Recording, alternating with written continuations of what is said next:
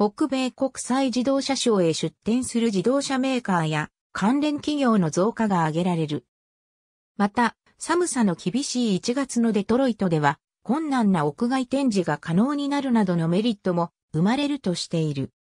しかし新型コロナウイルス感染症の世界的流行で2020年6月のショーは開催中止となり、さらに2021年も中止、初の6月開催会は2022年以降に持ち越しとなった。ありがとうございます。